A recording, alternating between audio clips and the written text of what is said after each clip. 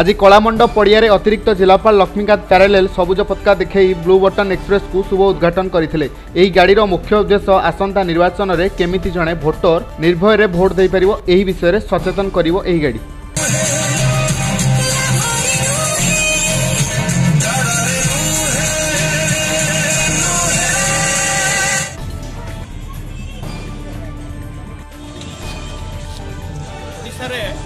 voter মানুষ সচেতন করবার লাগি এটা গোটে উদ্যম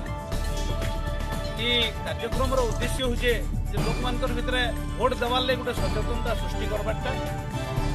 ସମସ୍ତେ ଭୋଟ୍ ଦେଉନ୍ ଖାଲି ଭୋଟ୍ ଦେଉନ୍ ନାହିଁ ସେ ସେଟା ତାଙ୍କର ଅଧିକାର ବୋଲି ସେମାନେ ଜାନୁନ୍ ଆଉ ଯେନ୍ ହିସାବରେ ବହୁତ ସମୟର ଅପପ୍ରଚାର ହେସି କି ସତେ ହଉ କି ମିଛେ ହଉ